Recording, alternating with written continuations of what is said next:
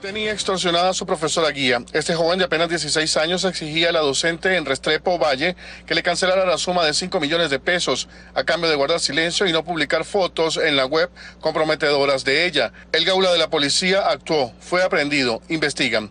Definitivamente la actividad delincuencial no distingue edades y en ese orden de ideas tenemos también jóvenes involucrados en este tipo de actividad delincuencial. Cable Noticias dio a conocer que existen varios casos donde los delitos ligados a la Internet son de tipo sexual, pero en el Valle del Cauca son los menores los que estarían extorsionando a sus víctimas, a quienes seducen para que se desnuden frente a las cámaras para grabarlos y extorsionarlos.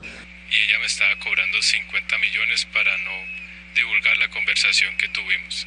Otras modalidades de extorsión a través del cibersexo están siendo analizadas por la policía. Ya se ha detectado cómo un hombre fingía ser una mujer para grabar escenas comprometedoras y luego chantajear a sus víctimas.